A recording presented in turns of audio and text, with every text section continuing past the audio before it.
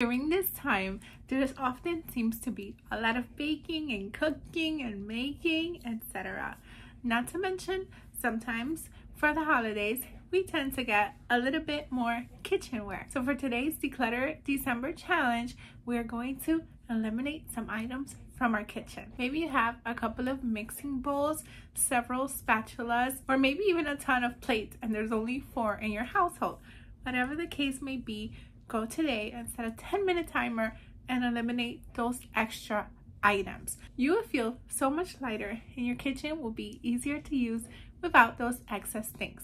So let's declutter those items today and I'll see you tomorrow for the next day of the Declutter December Challenge. Thank you so much for watching. Until next time, to God be the glory. Bye.